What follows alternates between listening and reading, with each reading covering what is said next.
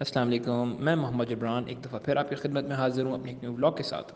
मेरे बहुत सारे क्लाइंट्स दोस्त, अहबाब अक्सर ये सवाल करते हैं कि जबरान भाई, आप कहते हैं कि गोल्ड के अंदर इन्वेस्टमेंट करो गोल्ड सेव करो।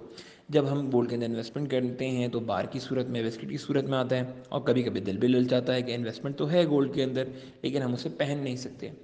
तो इसका हल मैंने ये निकाला कि अब मेरे पास जितनी भी डेड स्टॉक की ज्वेलरी होती है या यूज़ के अंदर कोई ज्वेलरी आती है तो मैं रोज़ाना उसके ऊपर कोई ना कोई ब्लॉग बनाऊँगा, उसका स्टेटस आपको बताऊँगा कि भाई ये यूज़ की है या हमारी डेड स्टॉक की है। तो आपको जस्ट इतना करना है, कोई भी प्रोडक्ट अगर आपको पसंद आती है इसमें से तो आप जस्ट आएँ बैलेंस वेट मशीन के ऊपर इसका वेट करें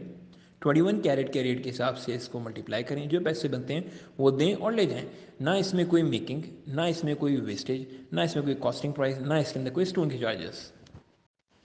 just like a gold bar जैसे आप गोल्ड बार लेते हो, और उसके अंदर आपको 1500 से 2000 तक ऊपर पे करना होता है, इसके अंदर आपको वो भी नहीं करना।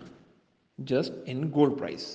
तो अगर आपको ये वीडियो पसंद आई है तो इस वीडियो को लाइक करें शेयर करें सब्सक्राइब करें और मुझे बताएँ कि हम आगे नेक्स्ट किस चीज़ के ऊपर जो है वीडियोस और ब्लॉग्स बनाएँ। मैं बहुत जल्दी ही अभी फैक्ट्रीज के ऊपर भी आप लोगों को लेकर के जाऊँगा। वहाँ पे जो है हम इस चीज़ को देखेंगे कि हाउ टू मेक ज्वेलरी और रिसाइजिंग के हवाले से मेल्टिंग का प्रोसेस क्या होता है उस हवाले से। तो हम बहुत सारी चीज़ों पर इन इसके ऊपर वो करेंगे और इसके अलावा भी इस मौजूद से हट के भी हम बहुत सारी चीज़ों को बनाएँगे। तो ये है कि अब मुझे एक तो सजेशन ये दीजिए कि हम आगे नेक्स्ट जो है किसके ऊपर हम